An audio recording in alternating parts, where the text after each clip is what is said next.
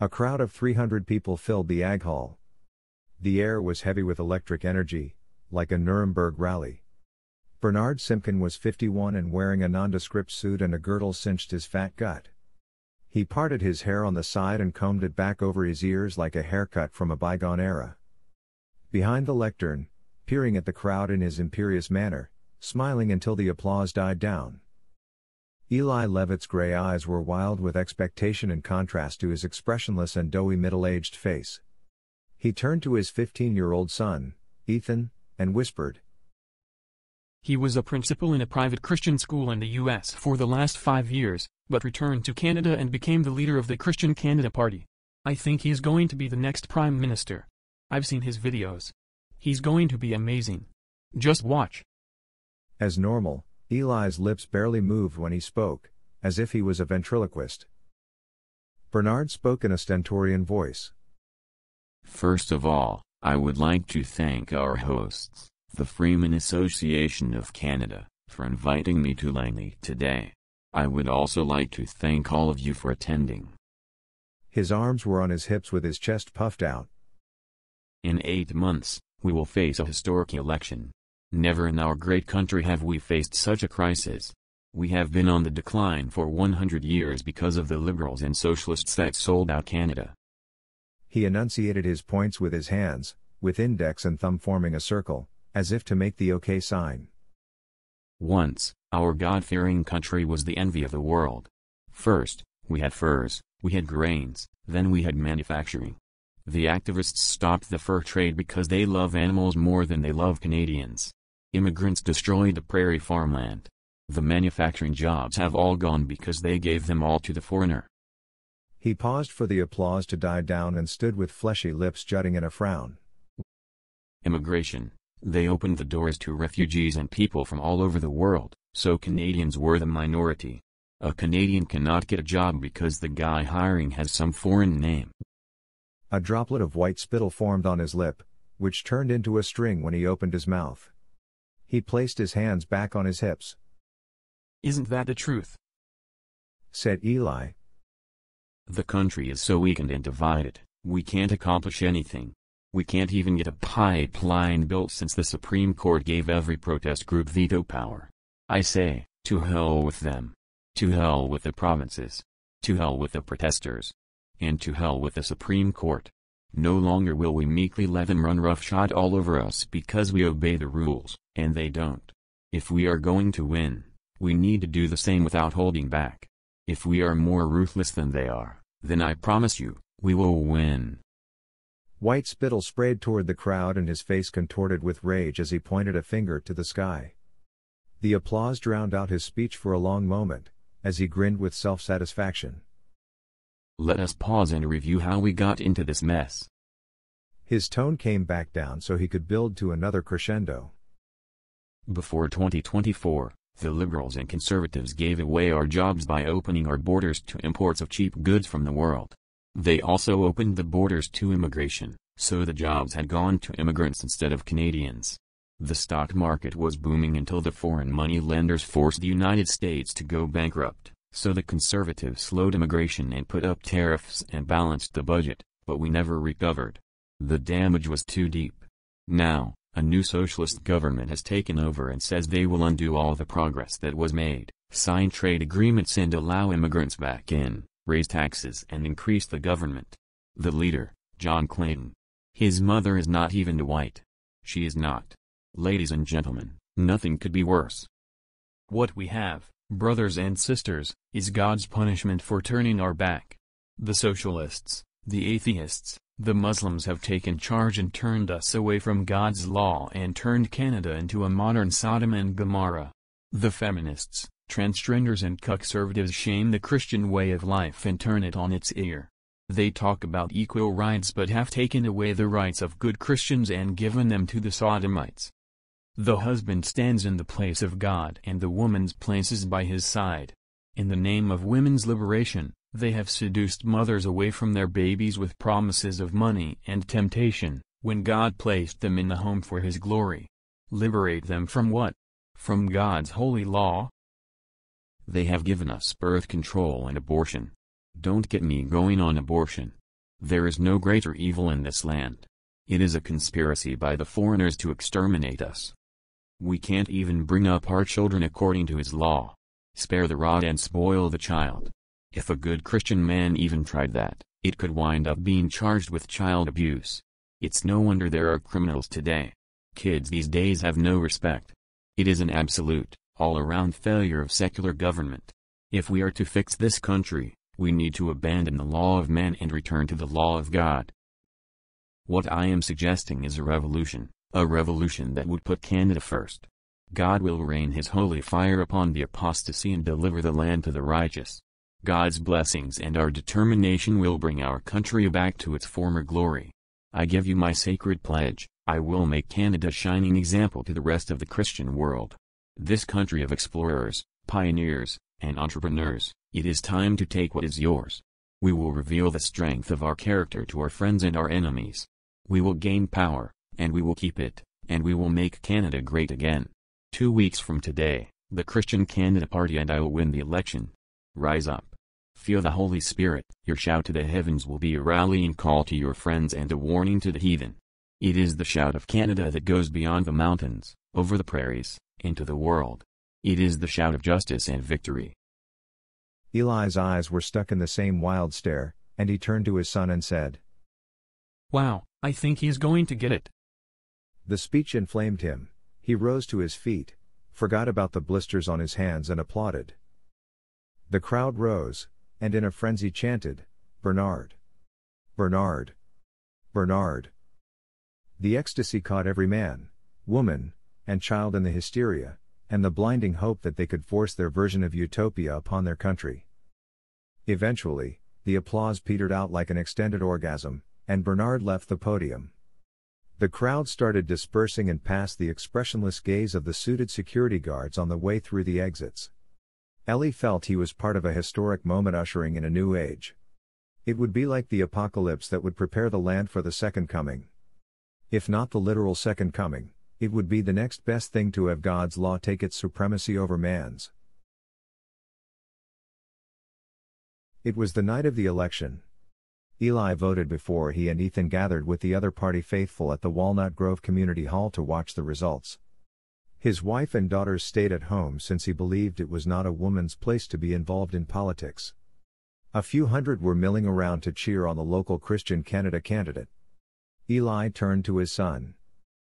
For the second coming to arrive, the land must be cleansed.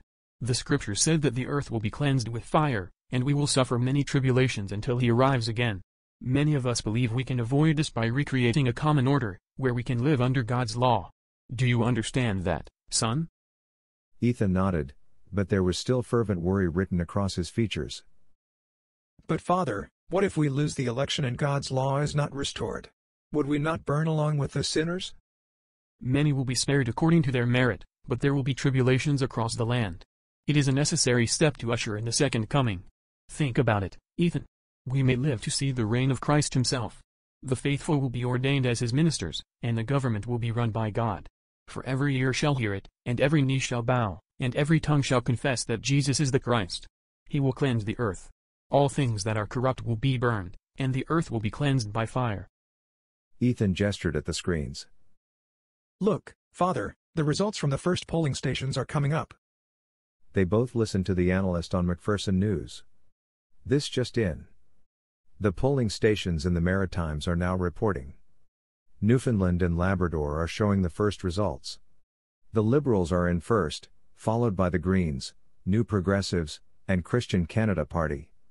The Workers' Party, and Secular Jerusalem, both near the back of the pack. Eli sniffed holding his nose up and making a brief posture that resembled both arrogance and disgust. That's the best that we can expect from the Maritimes, but it's a good sign that the Christians are in second place. Our supporters are concentrated in Saskatchewan, Alberta, and BC, so we get the most seats for our votes, but we have some support in Ontario. He adjusted his stiff, upturned collar and turned to Ethan. It will not look good across Quebec either. The papists will vote for the Liberté Party like lemons. If we're not too far behind after Ontario, the prairies and BC should push us over the top. If our support was spread evenly across every riding in the country, we wouldn't win any seats at all.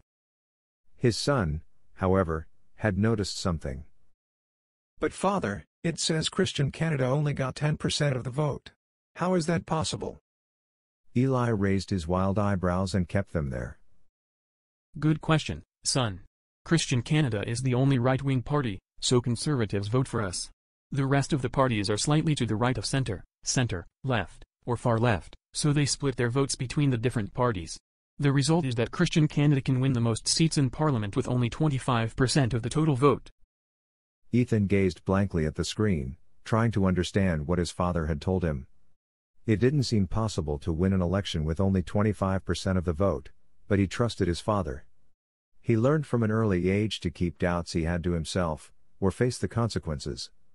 His father demanded obedience as well as faith. He was brought up in apostolic Christian schools and had been attending seminary daily, like the other kids his age. The first Sunday of every month, the church expected him to stand up and cry and testify he knew their church was true, beyond a shadow of a doubt. Beyond a shadow of a doubt, he repeated to himself with some irony. He saw shadows everywhere but would not admit there was a doubt among them. Eyes turned to the screen, and the room pulsed with expectation. Alberta polls are closed and the results are pouring in. Christian Canada is picking up momentum from Manitoba and is ahead in 70% of the ridings, a cheer rose from the crowd, and Eli and Ethan joined in. It's going to be close. Eli slapped his hand on his thigh. The landslide in Saskatchewan and Alberta was breathtaking, but not surprising. The Christians won every seat except Edmonton Strathcona. The buzz in the room quickened, and brave talk of a majority government circulated. The idea was electric. With a majority government, they would be unstoppable. They could wipe away the godless iniquity and create a new order. They could rule with an iron fist, and little could stand in their way. There were few barriers to theocracy in Canada since much of the political system was based on tradition rather than checks and balances. When those traditions had done nothing but encourage sin, there was no need to respect them. The buzz in the room quickened, and brave talk of a majority government circulated. The idea was electric. With a majority government, they would be unstoppable. They could wipe away the godless iniquity and create a new order. They could rule with an iron fist, and little could stand in their way. There were few barriers to theocracy in Canada since much of the political system was based on tradition rather than checks and balances. When Christian Canada believed those traditions had done nothing but encourage sin, there was no need to respect them. There was a fire in Eli's eyes that Ethan saw as disquieting. It's all up to BC now. The white spit made him look like he was frothing at the mouth. This will be the first election in recent memory where BC decides the winner. Most polls are reporting and the results are showing an uptick for the Liberals and lower results for the Christians. It still looks like the Christians will come out ahead, but will it be a majority or minority government? Eli sat heavy in his chair and exhaled deeply. A minority government would not allow the revolutionary changes they wanted. To pass any legislation, they would need to water down their agenda enough to get the votes of at least one opposition party. He also knew minority governments didn't last very long. The fall of the government would force a new election, which wouldn't be bad if the government needed a mandate for their radical agenda, but that would be risky. Before Bernard Simkin created the Christian Canada Party, Eli had no interest in the political system. He thought the left rigged it against him and others with a fundamentalist point of view, and believed the way to change the country would be through direct action. God would move him and others in the militant arm of the apostles to bring about the apocalypse that would usher in his holy thousand year reign. Ethan noticed his father's concerned eyes as they updated the BC poll numbers on the bottom of the screen. What does it mean? It means it's going to be close. Although several stations have not finished counting, McPherson News declared the Christian Canada Party to be the winner of the election. It will be a minority government, so it remains to be seen if they will try to arrange a formal coalition, or look for support from one of the other parties on a vote by vote basis. It's difficult to see how that's going to happen because of the wide chasm between the far right Christian Canada Party and the center and center left opposition. Now to Jim Singh, on the floor of Bernard Simpkins' press briefing in Ottawa.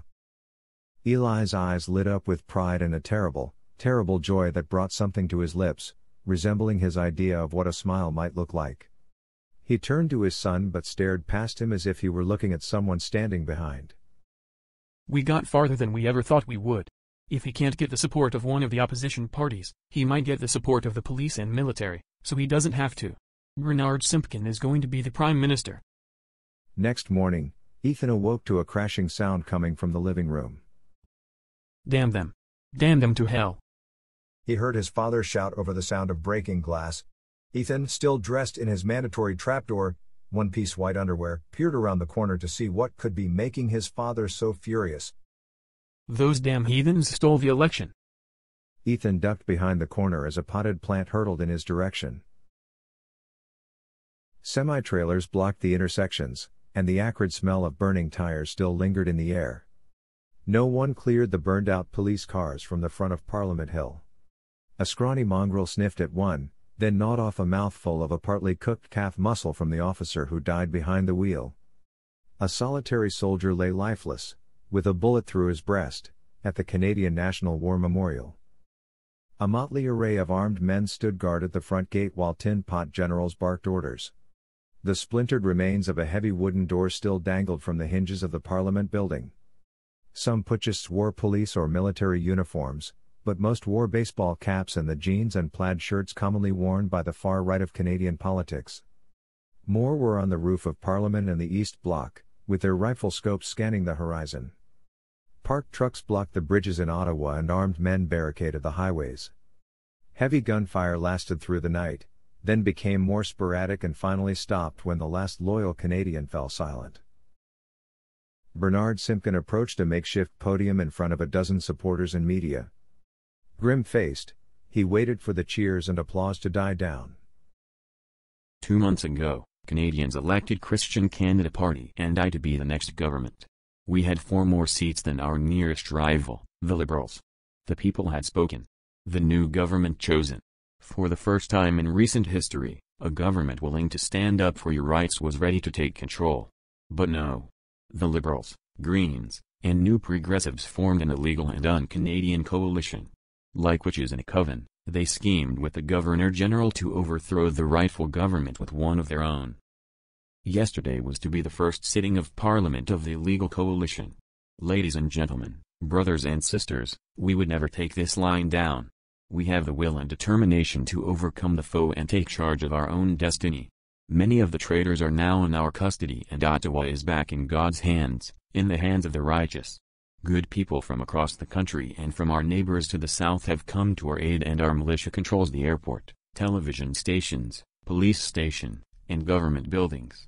We have armed blockades on every bridge and road leading into Ottawa. Old stock Canadians have nothing to fear, but we have temporarily instituted a curfew from 10 p.m. to 6 p.m. Government workers, including police, will report to work tomorrow and we will screen them for loyalty and suitability. We accomplished a great deal in spite of the traitors, but this is only the beginning. For this to work, we need the help of freedom-loving people from coast to coast. This is your call to arms. Take your weapons and ammunition and report to your local Christian Canada office. Seize border crossings to let more of our American allies in to help us. Although we will webcast nationally, we have temporarily shut down the internet in Ottawa until we have completely rounded up opposition forces. Since we have control of the television and radio stations, we will provide updates regularly. Remember, we are in this together. Good night and God bless. Eli finished his evening meal as he watched the Christian Canada webcast on his wall screen. I'm done with my plate, dear. He told his wife, Miracle. She looked ten years younger than Eli, but had a stern expression of someone used to a hard life. She wore the required pastel colored prairie dress and her long dark hair was combed up in a large bun on the top of her head. The swelling around her eye had gone down, but she was going to have quite a shiner. He would ask her to put the flesh colored makeup when she left the house to avoid busybodies. It was the only makeup allowed in the house. He knew he needed to pick his battles, and didn't have time to fight those who questioned the authority of the patriarch of the family. He had bigger things to worry about now.